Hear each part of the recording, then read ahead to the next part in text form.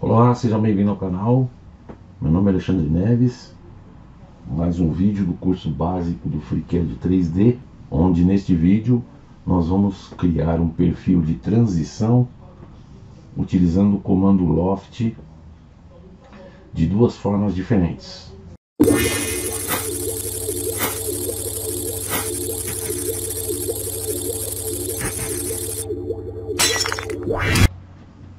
Estamos aqui com o FreeCAD aberto. Vamos criar um esboço, plano XY. Aqui nós vamos criar um perfil que vai ser uma base retangular. Então nessa base retangular vamos colocar essa dimensão igual a 30 milímetros, essa dimensão 20 milímetros. Observar a simetria entre esses dois pontos e o eixo vertical.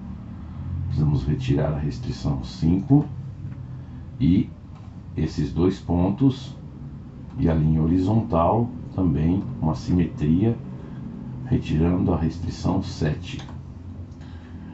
Vou dar um close aqui e fechar o nosso esboço. Então, para usar o comando Loft, tem duas formas para a gente poder fazer. A primeira forma, criar um plano. Nesse plano, em relação ao plano XY, você pode deslocar aqui o seu, o seu plano criado. Por exemplo, vou colocar 10 milímetros, dou um OK, clico nesse plano e faço um novo esboço. Esse novo esboço eu vou fazer aqui um outro retângulo e esse retângulo ele vai ter dimensão horizontal de 15 milímetros e dimensão vertical de 10 milímetros. Vou criar as restrições em relação ao eixo vertical de simetria, retirando ali a restrição 6 e também em relação ao eixo horizontal, mais uma simetria, retirando aqui a restrição 6. Temos aqui as duas figuras feitas para poder criar a transição. Então o que, que eu preciso fazer? Venho aqui, seleciono esse sketch, que seria o sketch da parte de baixo. Vou selecionar aqui o comando Loft Nesse comando loft, eu vou pedir para ele adicionar uma seção e escolho a seção que eu quero que ele faça. No caso, eu quero que ele faça a seção em relação a esse ponto, essa linha aqui. Pode ver que ele já cria ali a seção e você tem o teu o teu modelo 3D já montado. Para você fazer com que esse esse plano aqui desapareça, é só você modificar aqui a transparência dele então, por exemplo, você pode deixar ele mais transparente ou não. Então, mas à medida que você vai passando ali por cima, o seu plano está disponível.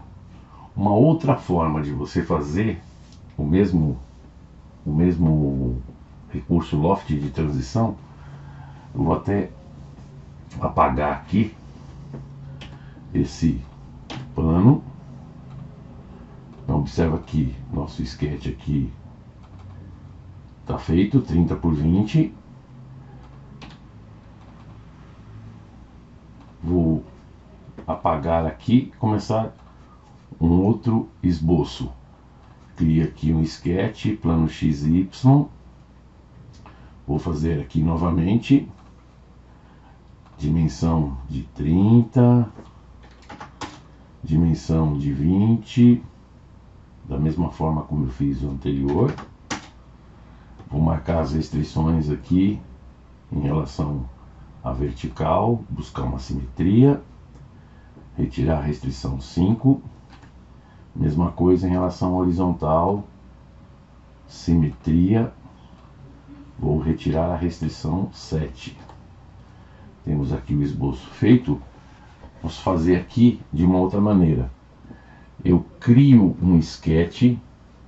Opa, saiu daqui, crio um sketch no mesmo plano XY, onde vou desenhar aqui a, o perfil que eu quero que ele tenha na parte superior.